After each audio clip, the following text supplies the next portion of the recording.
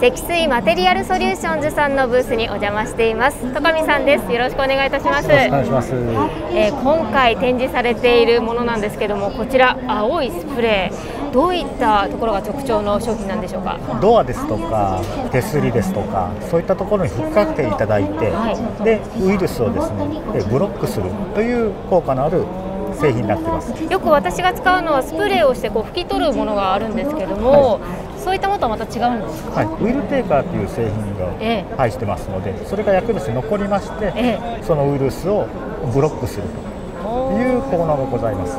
1ヶ月持つという、えー、評価をいただいています。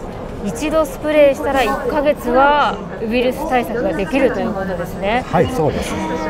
まさに今必要とされている商品ですよね。はい。実際にこれ使わせていただくことできますか？どうぞ。あ全く色もつかないですね。そうですね。えーまあ、こういった形で、まあ、乾いていただいてですね、まあ、触っていただいてもいいんですが、非常にべとつかない、さらさとそうですね、全くべたつきはないですね。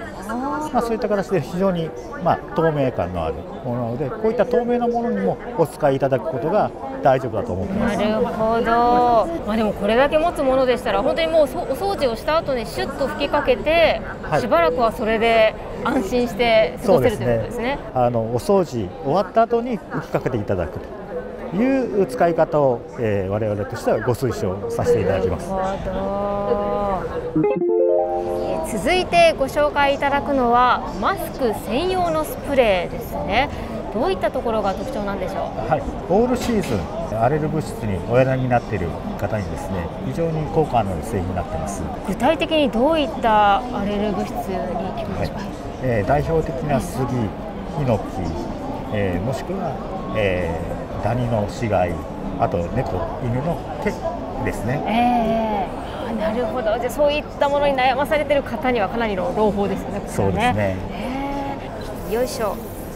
こんな感じで。もう1分後には荒れる物質をブロックする効果が出ております、えー、1分後、はい、またこの状態で約24時間その効果が持続することになっていますすごいですね。じゃあ外出前に一吹きすればもう1日持つということですね、はい。